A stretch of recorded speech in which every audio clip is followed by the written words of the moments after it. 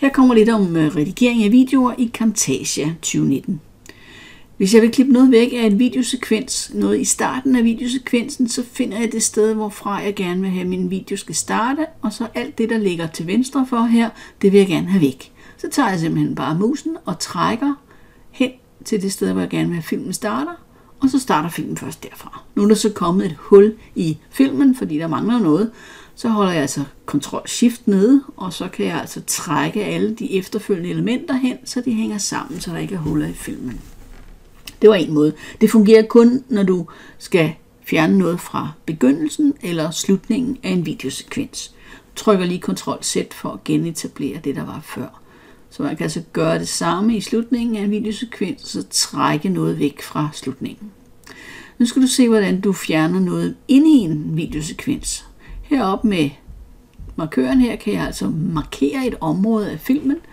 Det her herinde her, der er markeret nu. Jeg kan med den grå lige se det igennem og se, at det er det, jeg vil have væk.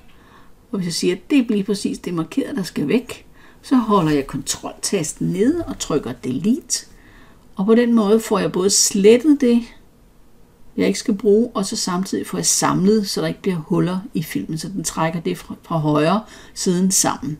Man kan se, at den er blevet klippet lidt. Øhm, der er kommet sådan nogle små øh, rimærker, eller det, de er stitchet sammen, så man kan se, at der er foretaget et klip i videoen.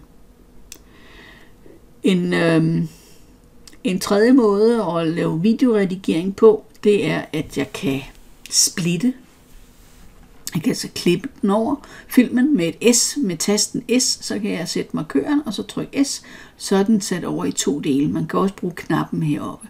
Her kan du se, at den er klippet over i to dele. Det kunne være, at jeg vil have noget ind midt i filmen, og lige have en stillbillede, og så vil jeg fortsætte filmen bagefter. Igen Ctrl-Shift ned, så kan jeg rykke alle elementerne, og så bliver der plads til at sætte et andet element ind i filmen.